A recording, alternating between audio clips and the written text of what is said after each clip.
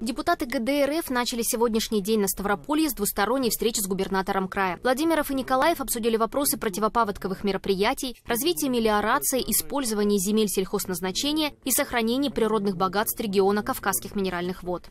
Устремления правительства Ставропольского края были в основном направлены на то, чтобы отрегулировать текущие зоны горно-санитарной охраны. То есть э, начиная там 200 лет назад, еще с царских времен, э, проводилась застройка внутри Кавказских минеральных вод. Сегодня действующее законодательство говорит, что вот ты построил в первой горно-санитарной охранной зоне, а у нас практически 70% санаториев находится там, и ты не ремонтировать, ни какую-то хозяйственную деятельность не можешь осуществлять. Нужно это отрегулировать. Обсуждение социально ответственного недропользования продолжилось за круглым столом в правительстве края. Что касается кавказских минеральных вод, то нельзя допустить застройку природоохранных зон. Еще один важный вопрос – защита территориального производства минеральной воды. Сегодня, к примеру, есентуки можно производить в любом другом регионе страны. И не факт, что в бутылке разливают ту самую целебную, а не контрафакт. Это неправильно, отмечают депутаты. Сейчас ведется работа над изменением в Гражданский кодекс. Мы активно принимаем участие в этой работе для того, чтобы в конце концов у нас были защищены прежде всего регионы, территории.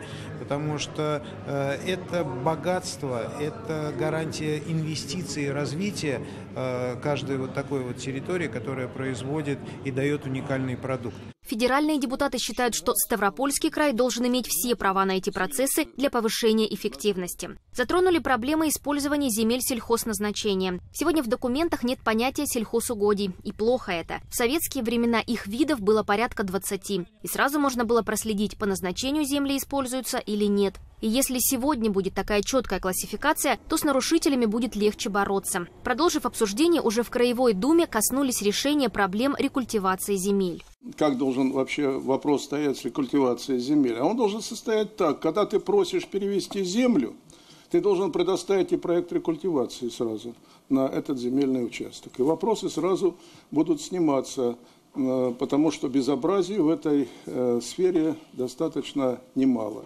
Федеральные депутаты на встрече с краевыми отмечают, что при работе над законопроектами очень важно региональное взаимодействие, чтобы после принятия не было вопросов и проблем. Все регионы разные, нужно идти от частного к общему и вместе находить решение. Хотелось бы нам, чтобы вы давали отзывы на все законопроекты федеральные, которые вы получаете.